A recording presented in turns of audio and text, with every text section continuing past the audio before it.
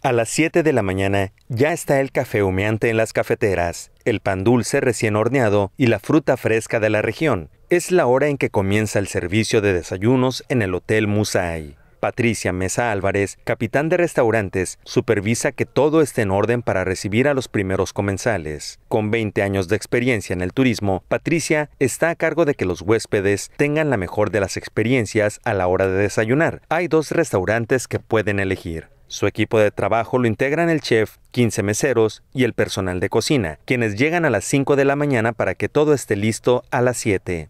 Mm, como tal, pues desde el inicio, la apertura, que mi restaurante esté con todo, en, ahora sí que en tiempo y forma, desde la iluminación, las mesas bien montadas, el personal que esté pues con todo el uniforme impecable, pues porque es lo primero que el huésped pues viene y ve, ¿no? Es una, una este, buena apariencia sobre todo.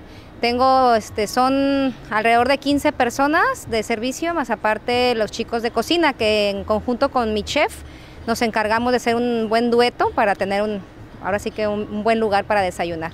El horario de desayunos es de 7 a 12 de la mañana y dan servicio a 150 personas aproximadamente. En el restaurante Hiroshi pueden recibir hasta 80 comensales y el Terra, más pequeño, pero con vista a la montaña, es para 25 personas. Además de los tradicionales huevos al gusto, cereal, hot cakes o pan francés, hay especialidades como el burrito de huevo y carne y el croissant con huevo y salmón. A Patricia le gusta conocer gente de otros lugares, interactuar con los huéspedes, informarles de la historia y atractivos de la ciudad, y eso contribuye a que regresen a Puerto Vallarta y en muchas ocasiones al mismo hotel. Entonces me gusta mucho conocer gente de otros lugares, presumirles el lugar de donde soy, porque yo soy de aquí de Vallarta, Patasalada. Entonces me gusta, así que lo que me pregunte, yo sé cómo se llamaba, dónde están las festividades. Entonces, no nada más es saber dónde trabajas, sino también el lugar donde vives, para que tú puedas también hacer que el huésped no nada más regrese al hotel, sino que regrese a este puerto.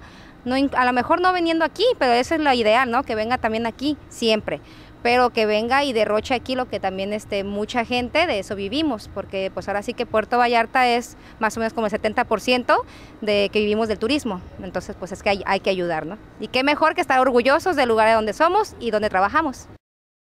Algunos huéspedes extranjeros le preguntan sobre el tema de la seguridad. Ella se encarga de darles la información correcta para transmitirles seguridad, que sientan confianza en su estadía, mientras que los nacionales valoran mucho el buen trato, el sentirse bien recibidos en el hotel. Ella opina que es muy importante que a la gente le guste su trabajo para que lo realice con pasión, que no se haga rutina y que lleve el sabor de la buena vibra. Sobre las restricciones alimenticias, comenta que desde las reservaciones, algunas pueden informar los productos que no consumen, a lo que deben estar muy atentos.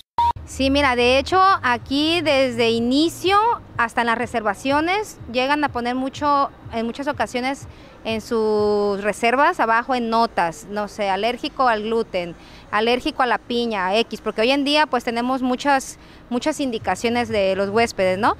Pero aún así, llegando a nuestro restaurante, se le pregunta el número de habitación y también se les pregunta si tienen alguna restricción alimentaria o una alergia. Que bueno, una restricción alimentaria como sea es nada más puro gusto, ¿no? Y la otra si, si es algo delicado, que tenemos que tener este, muchísima precaución en eso. Aún sabiendo eso, el mesero les vuelve a preguntar a la hora de la toma de la orden y cerciorarse con cocina de que ellos también le den seguimiento. Porque realmente no es como muchos, a lo mejor de 70 comensales, 3 o 4 tienen ese tipo de restricciones. Entonces se le da seguimiento muy puntual. Patricia Mesa, capitán de restaurantes en el Hotel Musai, supervisando que los desayunos sean la primera gran experiencia del día. Patricia Mesa, capitán de restaurantes en el Hotel Musai, supervisando que los desayunos sean la primera gran experiencia del día. Con imágenes de Itzia Rodríguez e información de Rodrigo López Becerril, CPS Noticias.